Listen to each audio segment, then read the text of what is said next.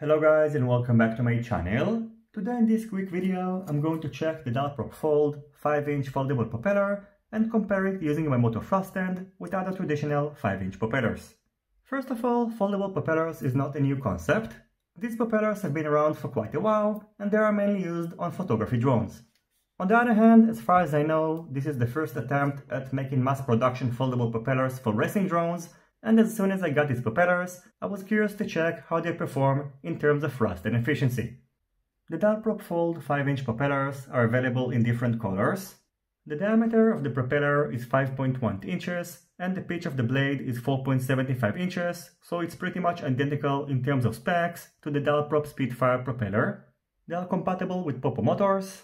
They cost about $4 for a set, which is pretty much at par with other 5-inch propellers, and they come unassembled, so you'll need to assemble them by yourself.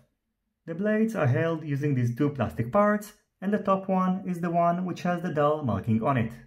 When assembling the blades, make sure that they are facing the same direction and the F5 marking is on top. Then assemble the bottom part of the propeller hub, and I recommend to use a multiplier in order to make sure that the propeller is properly secured.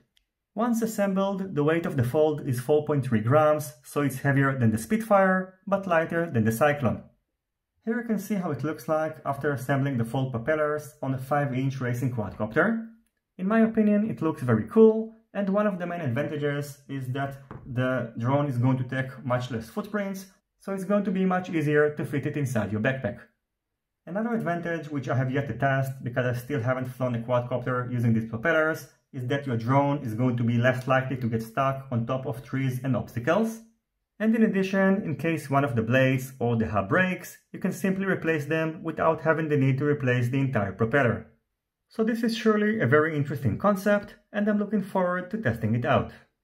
As for the thrust test which I'm about to show you, the Fold was outperformed by the other traditional propellers, but surprisingly, or maybe not surprisingly, it wasn't that far behind. So overall, considering its price and the fact that you're not sacrificing a lot of performance, at least on the paper, I think that you should definitely check it out if you'd like to try something new and different, and hopefully I will be able to upload some flight footage in the next couple of days.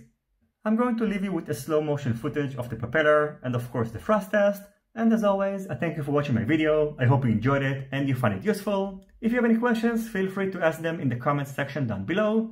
Don't forget to leave a thumbs up if you like this video, and consider subscribing to my channel and hitting the notifications bell if you're not already subscribed.